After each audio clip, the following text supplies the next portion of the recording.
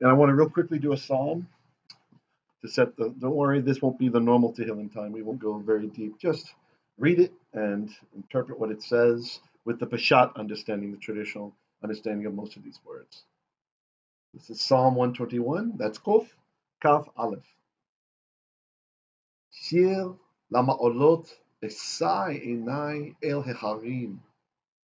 A song for going up, for Allah, for ascents. This is one of the psalms that the Levites would say when they ascended the steps at the Beit HaMikdash, the temple, as they were going up the steps.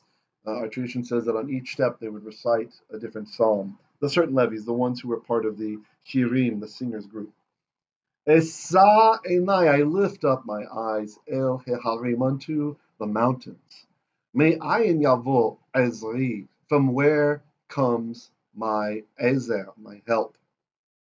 Me'im Adonai, my help is from with Adonai. And this this me'im, sometimes we see this, this is impacted by cognate languages.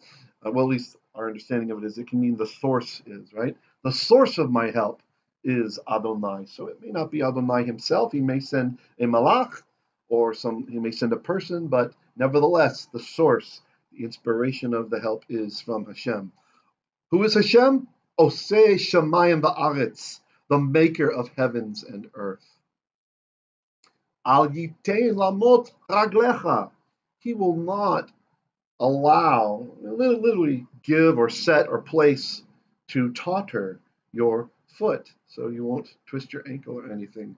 Al Yanum Shomrecha. Your Shomer. What is a Shomer? One of Hashem's accolades, one of his divine titles is the Shomer Israel, and this psalm reminds us, of course, well, it's coming up, that Lo Yanum Velo Yishan Shomer Israel, the, the one, the watchman of Israel. This is the opposite, if you remember, if you draw shot back, we talked about the Shorer. The Shorer is the one who's got your evil intent in mind. Someone who watches you, perhaps a wicked neighbor, or perhaps a coworker, or someone who hates you, and they watch you, hoping for you to fail. That's a shorer, and sometimes causing it.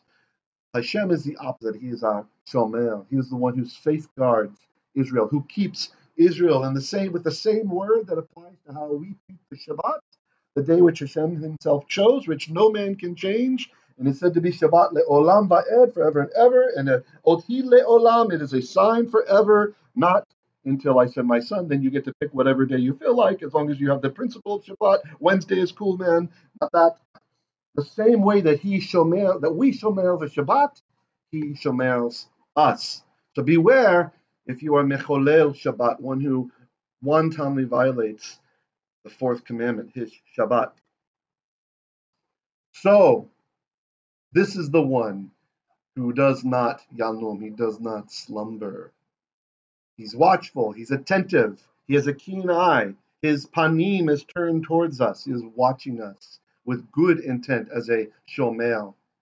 Hine lo yanum velo yishan, shomer Israel. The famous line, behold, or something more like, look, look, check it out.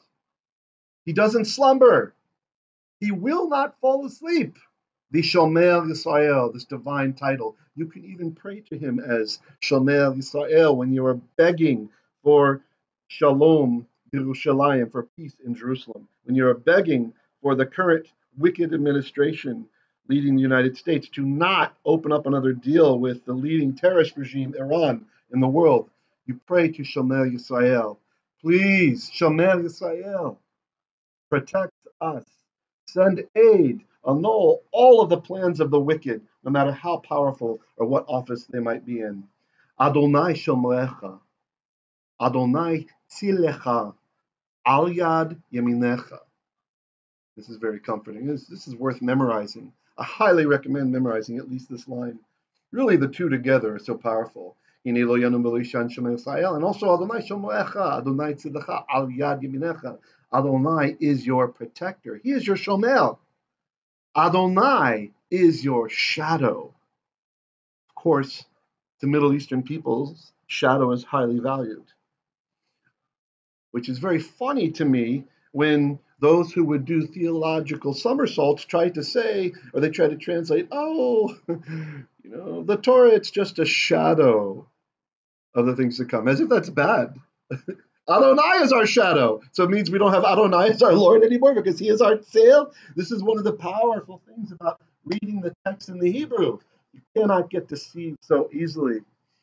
Adonai is your tzel, he is your shadow, just as the Torah is our shadow. Al yad yaminecha, by the power of your right hand, or at the or with the power of your right hand, or with the position of your right hand. It's kind of interesting. Literally, it says over yad, over hand of yaminecha, of your right hand side. But yamin also means the right hand. So it's very interesting. Yomam hashemesh lo yakecha. V'yareach balayala. By daytime, the sun will not strike you. It will not nacha you. And nor the nighttime moon nor the moon in the evening. It's kind of interesting. How does the moon strike someone? So this is kind of open to interpretation here, whether it could be the legend of people becoming moonstruck or the, the things that could happen in the night. I suppose you could infer that on a full moon, this is a good time for an enemy to attack, right? This is pre-night vision goggles tech times that we're talking about here.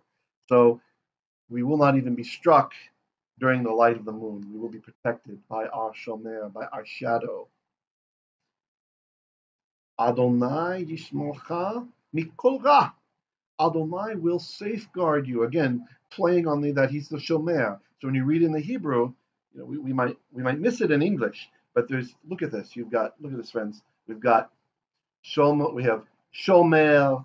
Pardon me. Shomecha. Shomer. Shomecha. Yishmocha, Yishmo, Yishmo. You see, it keeps repeating. There's a theme. Bam, bam, bam in the psalm. He protects. He's our keeper. He protects. He's our keeper. Adonai Yishmocha. He will protect you. He will safeguard you. Again, those who read the Torah in the Hebrew, this will bring. You can't not think about this. I put you. You can't not think about it.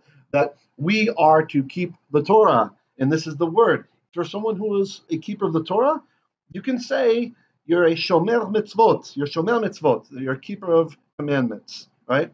Someone who keeps Shabbat is shomer Shabbat, one who keeps the Sabbath, who protects the Sabbath. And so, as I've shared with you many times, there are many Hebrew words that they have a kind of a, a different nuance when Hashem is the subject versus when we are the subject.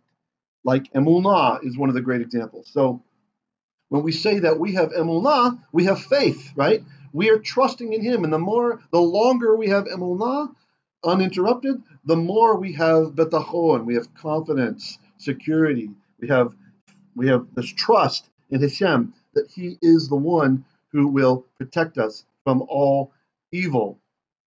And so, with the case with Shema, oh, I'm sorry, with Emunah, when it's Hashem who we're talking about with Emunah, when we say Rabba Emunatecha or Rabba Emunato, great is his Emunah, we're not saying that he has faith in us like he's counting on us to do things, right? What we're saying is that he keeps his promises. He keeps the faith with us. It's more like, in a way, it's almost like fidelity. And so here, Shema is the same thing, same kind of dynamic. We are the ones who keep the mitzvot, and he is the one who keeps us right? It's not like we're some kind of rule or something that he has to do. So you can see the nuance. It changes when Hakadosh Baruch Hu is the subject versus us. And I want to read here real quick an interesting comment. Uh, let's see, we've got some comments here. Sorry, I had them behind my screen. So let's see. Oh, that's nice. Janine memorized it in the Hebrew a long time ago. That's good. Yeah, nice, nice. It is beautiful and assuring, yes. And Esau says, actually, the moon can strike. It affects the tide in the sea. Oh, interesting. And 75% of our bodies are water. When there's a full moon, I often can't sleep. That is interesting. Huh. Very, very interesting. Nice point, Esau. Okay, so continuing on with the fact that Adonai Yishmarecha, or pardon me, Adonai Yishmarecha, he's the one who protects you, safeguards you from all ra. That's not just from all evil. Oftentimes people they take it very literally with the gloss of this word meaning evil. But ra, as we saw recently, it's anything bad, like anything that is disagreeable to you, right? Like l- losing money in the stock market might not be evil, but for you it's ra. It's bad, you see. So this is really what the psalmist is saying. He protects us from any kind of bad happenings that are not good for you.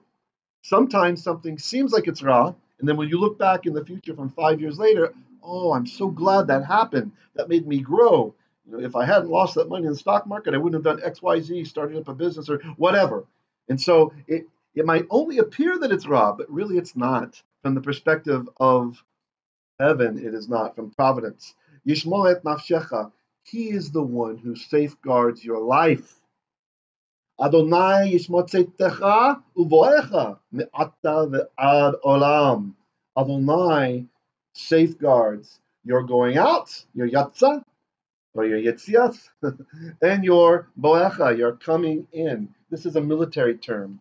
When you go out and when you come in, like if in the book of Joshua it says that Yehoshua, Joshua, was then to replace Moshe as the one who would lead the people out and lead them in. Go out and come in, meaning going out to war. You're leaving your camp, you're leaving the comfort of your home, of your country, etc., and then you come back in with the spoils of war. From now until when? Ad olam. Until eternity. Any comments or questions on the psalm? The blessing of reading that and seeing how beautiful our poetry is. Yes, indeed. Tet says it is good to remember in these times.